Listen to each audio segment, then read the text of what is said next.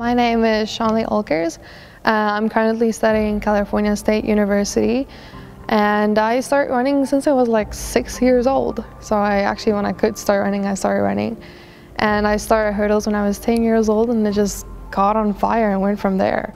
My first year of university, I studied in New York and it was an awesome experience and I transferred to California State University and it's an amazing experience still. It's a journey that I've been walking a long time and can't wait to see what's happening in the future.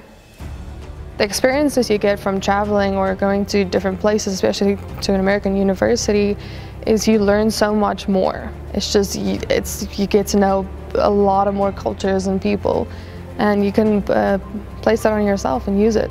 I started looking at universities kind of around like when I was 16 years old and I never kind of like knew how what route to take, like or if you're gonna apply to a university, you're gonna do straight, or you're gonna go through an agency or anything.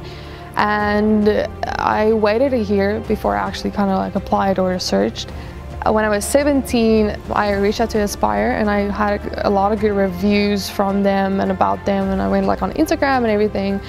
And I spoke to a couple of athletes that were part of their team and they said I had an amazing experience. And I said, okay, well, let's try it. Why not do it? So I signed up with Aspire and they helped me so much. They put me through a process of SATs and getting in contact with a bunch of coaches, narrowing it down to like your top five, getting Zoom meetings in.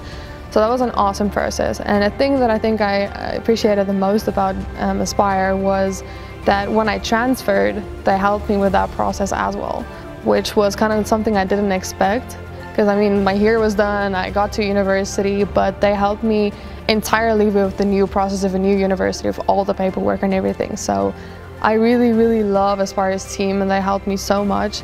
They helped me feel comfortable and safe with everything and every step of the way.